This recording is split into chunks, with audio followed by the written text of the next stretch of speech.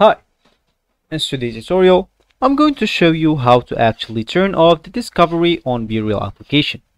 So first of all, of course, if you don't have BeReal application on your phone, you'd like to go and download it through Play Store if you're using an Android, App Store if you're using an iPhone, or any other store you could be possibly using. Then, you would like to go and sign in to create your account. Of course, if you already have an account, just ignore all of that log in into your account and let's just get straight to it.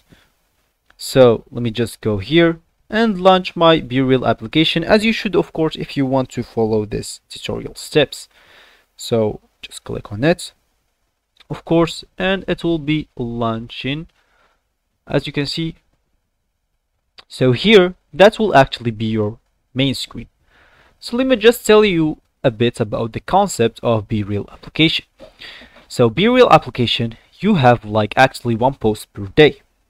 And this post is actually have to take two pictures.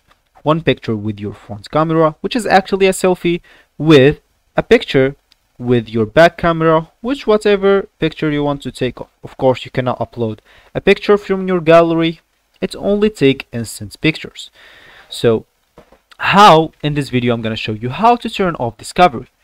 If you go here to my discovery, as you can see, wait, as you can see, I have here hidden posts or hidden contents. Why? Because I am currently turning off the discovery. So how you can actually do that?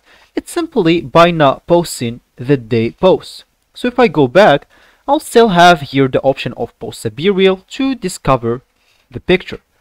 So if you didn't actually post, as you can see here, hidden content, so post a BeReal to discover the picture.